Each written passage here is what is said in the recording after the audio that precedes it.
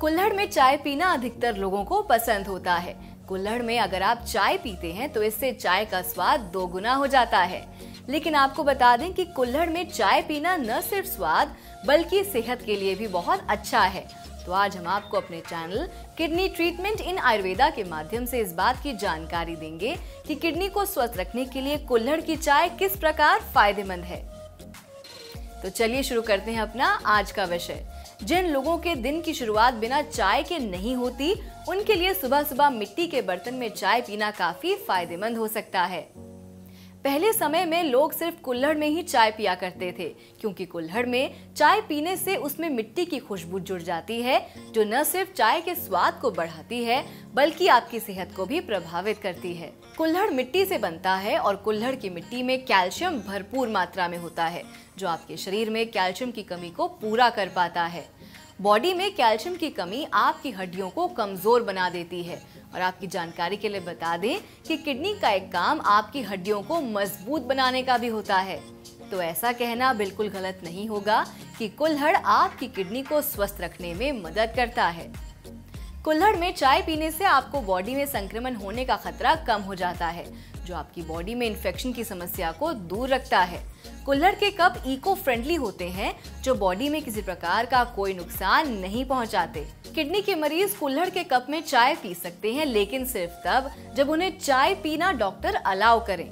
कुल्हड़ में चाय पीने से पाचन तंत्र ठीक रहता है, जिससे आपका लिया आहार ठीक तरह से डाइजेस्ट हो जाता है और आपको पेट की समस्या नहीं होती। तो ये है कुल्हड़ की चाय के कुछ फ़ायदे।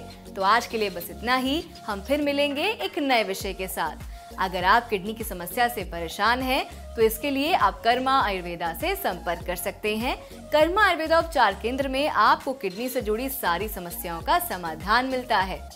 कर्मा आयुर्वेदा में कुशल डाइटिशियन मौजूद हैं, जो किडनी के मरीजों को कौन सी डाइट लेनी सही है और कौन सी नहीं, इस बात को ध्यान में रखते हुए मरीज़ को सही आहार की जानकारी देते हैं। अगर आप डायलिसिस और किडनी ट्रांसप्लांट से दूर रहना चाहते हैं तो इसके लिए आप कर्मा आयुर्वेदा उपचार केंद्र से संपर्क कर सकते हैं।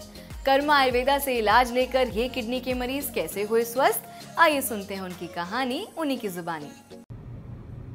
क्या नाम है आपका? राजीव वर्मा। जब आप आए थे क्या दिक्कत हो रही थी? सांस लेने में दिक्कत थी। तीन तीन लेक्चर होते थे। अब तो एक ही हो रही है फ़िलहाल।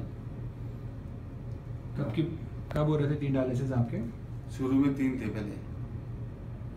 इसके बाद आपने एक कहा अभी कोई दिक्कत हो रही है आपको? अब तो कोई दिक्कत नहीं है फ़िलहाल। पहले अभी पानी कितना निकल रहा है डायलिसिस में आपका? अब तो ढाई तीन निकलता है। पहले कितना निकल रहा था? चार। जब आप तीन बार करा रहे थे। तब भी तो इतना तीन चार तीन चार निकल रहा था। अच्छा। अभी कोई दिक्कत तो नहीं हो रही? नहीं दिक्कत तो कोई नहीं। फिट महसूस कर रहे हैं? ठीक है अब तो फ़िलहाल पहले से बेटर लग रहा हूँ। आप किसी भी वक्त हमें कॉल करके हमसे संपर्क कर सकते हैं और एक्सपर्ट्स की राय ले सकते हैं। अगर आपको ये वीडियो पसंद आई तो इसको लाइक करें साथ ही इसको शेयर करना ना भूलें। फ़िलहाल के लिए इतना ही धन्यवाद।